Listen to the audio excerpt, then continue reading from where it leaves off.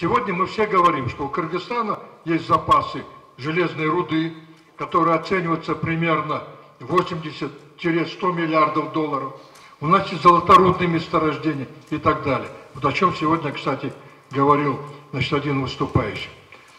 Так вот, э, получается, как нищий, который сидит на золотой скамейке. Эти деньги до народа не доходят.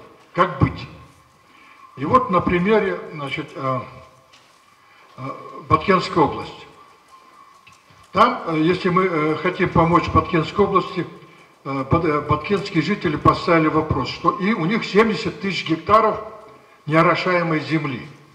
Для того, чтобы это сделать, оросить, надо пробить канал 24 километра. Построить водохранилище примерно 190 миллионов кубических метров. Если канал построим 24 километра, пропускная способность 30 кубических метров в секунду. Можно построить ГЭС. Среднюю ГЭС можно на этой построить. Таким образом, решается много вопросов. Где деньги на эти? Надо 250 миллионов долларов. Правительство обращаемся, денег нет. И вот где лежат деньги? Деньги лежат в земле. Есть месторождение золотое Алтынжилга. Это верховьях реки Сох.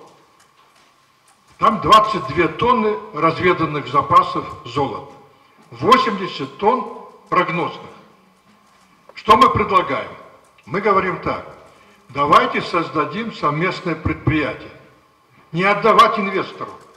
Совместное предприятие 50 на 50. Инвесторам говорим – мы с вами вместе заходим, 50 на 50 разрабатываем. Но в счет будущего нашего дохода вы нам отдайте вот эти 250 миллионов частями. И мы начнем строить канал, водохранилище, электростанцию. Но каким образом? Эти деньги, они идут траншами, то есть частями. Мы создаем народное акционерное общество